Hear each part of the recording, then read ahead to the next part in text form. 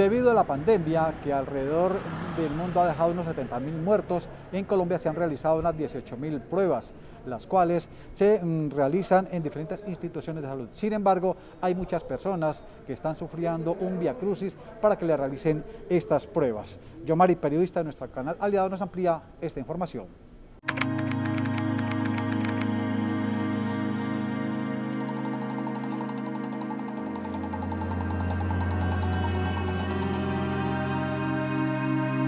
La pandemia del coronavirus se convirtió en un calvario para el mundo entero.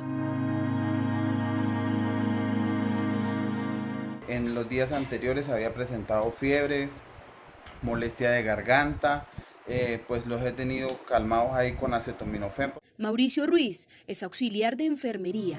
Su pesadilla con el virus empezó hace más de ocho días. Realmente necesito el examen suplicando que le realicen la prueba para el COVID-19. Me tienen en, aislamiento preventivo debido a que tuve contacto directo con el segundo paciente positivo para COVID-19. Y así como Mauricio, miles de colombianos están viviendo el mismo martirio, exigiendo que se les practique la prueba. Sin embargo, lo que ellos no saben es que antes de que sea demasiado tarde, pueden tomar acciones legales.